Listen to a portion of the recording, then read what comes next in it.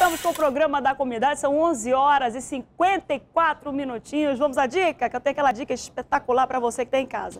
Você aí que está me assistindo, quer subir na vida, receber um aumento de salário ou ter a profissão que sempre sonhou?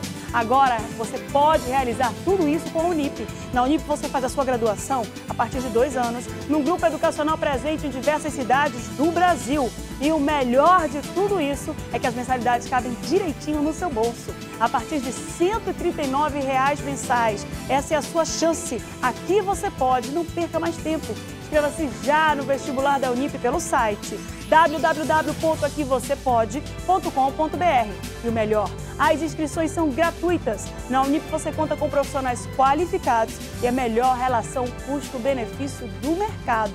Com mensalidades a partir de 139 reais. Ligue agora mesmo para o 0800 725 0045 e tire todas as suas dúvidas. Para mudar de vida, basta querer, porque com a Unip todo mundo pode. Amaral. Destaque de polícia no programa da comunidade. Vamos trazer informações sobre menores apreendidos que tentaram roubar bebidas de uma balsa lá no Porto do São Raimundo, zona oeste da capital. Na tela do agora para a gente entender esse caso. Este grupo teria tentado roubar as bebidas desta balsa quando a confusão começou. Os menores discutem com os responsáveis pela carga e partem para a agressão com um pedaço de madeira e depois com uma pedra. Tudinho, pode tomar, pode tomar tudinho. Alguns saem correndo. De repente, um tiro. O disparo foi para cima. Saiu da arma deste homem que seria o suposto dono da mercadoria. Ele preferiu não dar entrevista. A polícia foi chamada, mas também não quis comentar a confusão. Este homem saiu ferido. O que foi que houve?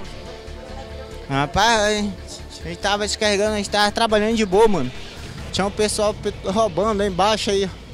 Aqueles que correram lá, mano.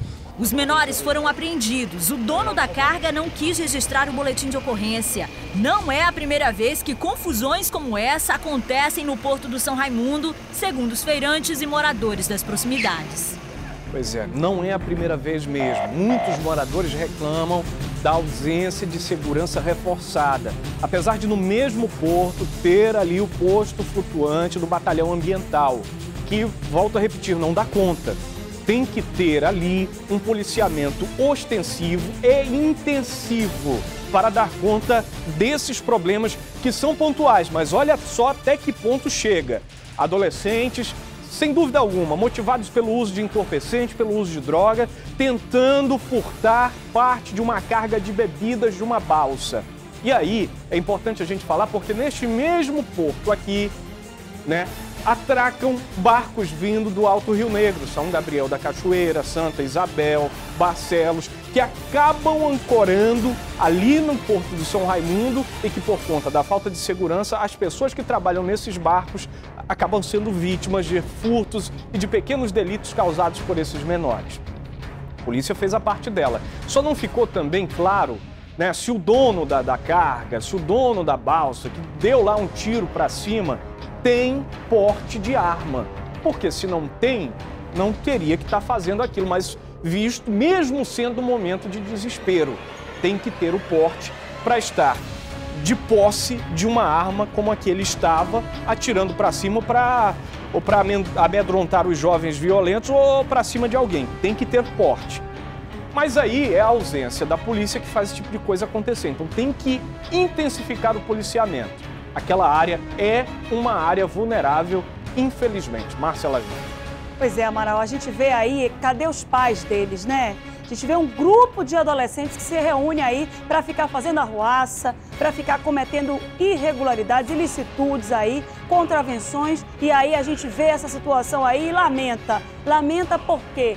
Os pais é que são responsáveis. Os pais devem estar ali cobrando, questionando onde você está, com quem você está, que amigos você tem. E aí a gente vê situações como essa aqui, o risco que esses adolescentes correram e, obviamente, também o dono da embarcação que estava aí, o dono da, da carga, estava def defendendo o seu patrimônio, mas contra aí um grupo de pessoas que estavam querendo fazer arruaça, querendo fazer bagunça. É isso que a gente vê aí e questiona. Cadê os pais desses meninos que a altura do campeonato está vendo os filhos, a gente embaça a imagem porque tem que preservar a imagem do menor, mas quem está em casa assistindo sabe exatamente quem é cada um deles. Arruaça, violência que poderiam ter terminado em morte. Não é brincadeira o que uma pedra do tamanho da que aquele jovem estava na mão pode causar se acertar uma área vulnerável, a cabeça, por exemplo. Não é? Olha só, eles agem com a intenção de ferir mesmo, deliberadamente com a intenção de ferir e ferir mesmo, de verdade. Observe, deixa adiantar as imagens aí para você ver só. Olha aí, com um pedaço de perna manca, joga com essa intenção. O homem que saiu com a mão ferida pegou uma pedrada, mas não é qualquer pedrada. Segura aí, olha o tamanho da pedra que está aqui. Vai atingir a mão dele, que também está armado lá com a perna manca, olha. Atinge a mão. Se ele não se esquiva, poderia ter atingido a cabeça, uma outra área do corpo. Ele vai, o adolescente vai com a intenção de acertar. E se pegar na cabeça, que mate, que ele não tem nenhum problema com isso. Ele vai com a intenção de acertar mesmo. E se. Olha só, uma outra pedrada com a direção da mesma pessoa, que foi bom na esquiva. É, olha só, quem quer acertar as pernas, não joga a pedra para cima. Né? Quem quer só amedrontar, não, não vai fazer o que ele fez. Ele quer acertar a cabeça, meu. Volta essa imagem aí, Cristiano. Olha só. Mas vai direitinho, né? O outro é rápido, se esquiva e evita ali de pegar uma pedrada e tanto na cabeça, né? Com a força enorme que foi. Um grupo de adolescentes, adolescentes entre aspas, né? A gente fala adolescente aqui, mas um bando de marmanjo desocupado, usuário de droga, né? Que agora vai ter que responder mas vai responder cumprindo medida socioeducativa. Meio-dia, um minuto na capital amazonense, são cenas que a gente espera não se repitam mais ali na orla do São Raimundo, onde está instalado o Porto do São Raimundo, volta a dizer, onde pessoas desembarcam diariamente em barcos vindo do Alto Rio Negro, famílias fazem embarque e desembarque e também cargas, onde também está instalado o batalhão ambiental no seu porto fluvial ali no São Raimundo precisa de mais policiamento. Meio-dia e dois, obrigado pela sua audiência. Márcia Lasmar é contigo. Eu quero dar um recado para você que está em casa e para você que, assim como eu, preza pela qualidade, agilidade e precisão principalmente quando se trata da saúde. O Laboratório SEBIN possui 30 anos de experiência em laboratórios, em exames laboratoriais. São três décadas de compromisso total com a precisão e o atendimento diferenciado.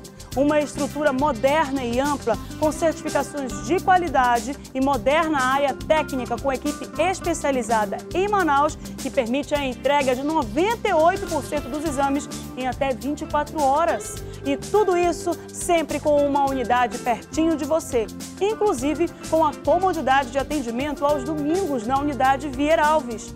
É, para saber mais sobre todos os diferenciais do Laboratório SEIB ou para localizar a unidade mais perto de você, acesse www.seibonline.com.br ou ligue 2126 8000. Amaral. Em instantes, o programa da comunidade volta com informações direto da Zona Norte, onde está a unidade móvel de jornalismo do Agora, para trazer informações sobre a Rua Andorinha e a Travessa Andorinha, velhas conhecidas nossas, que ainda sofrem com os mesmos problemas. A falta de infraestrutura é o pior deles. A gente volta em instantes.